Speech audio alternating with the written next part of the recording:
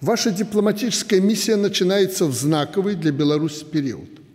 Совсем недавно, 17 сентября, Беларусь отметила свой самый молодой государственный праздник – День народного единства.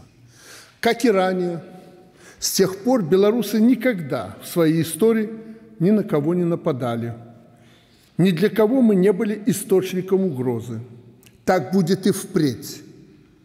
Подчеркиваю, именно так будет впредь.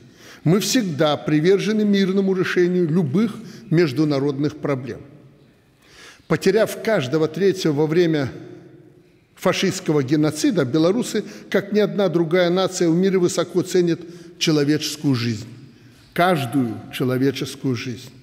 В том числе по этой причине и ранее, и сегодня, когда рядом с нами в Украине полыхает военный конфликт. Неизменно выступали и выступаем с мирными инициативами на международной арене. Мы считаем конфликт между братскими народами огромной трагедией. Он прямое следствие стратегических интриг и величайшей глупости, прежде всего, западных политиков. Сегодня, уважаемые друзья, много говорят об этом конфликте. Очень многие при этом заявляют о том, что хотели бы мира на этой земле. Особенно европейцы, потому что этот конфликт в нашем европейском доме. Если европейцы искренне этого хотят, мира можно достичь в течение нескольких дней. В который раз заявляю об этом и предупреждаю европейцев. Одумайтесь и делайте все для того, чтобы на этой земле был мир. Наша страна искренне пыталась всеми силами не допустить этого безумия. И не надо нас сегодня упрекать в соагрессии или еще в чем-то.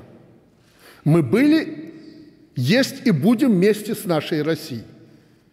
У нас с Россией союз теснее, чем блока НАТО. Что вы от нас хотите? Но в то же время мы говорим о том, что мы не будем воевать в Украине. Давайте мирно сотрудничать. Беларусь украинцам не в чем упрекнуть. Нас, белорусов, не в чем упрекнуть. Не мы начали конфликтовать с Украиной. Это они раньше западных держав и Америки закрыли небо для пролета наших самолетов и объявили экономическую блокаду Беларуси. Чего вы теперь паритесь и от нас чего-то требуете?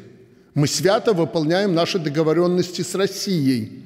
И об этом до конфликта знали все в НАТО и тем более в Америке.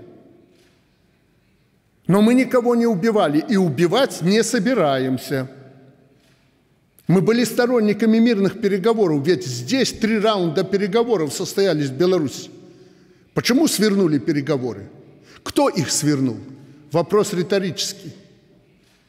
Я говорю это вам, послам, чтобы вы знали нашу позицию по самой острой современной проблеме. И исходили из этого – мы все делали для того, чтобы остановить кровопролитие. Но это кровопролитие кому-то нужно. Кому? Вы дипломаты, разбирайтесь.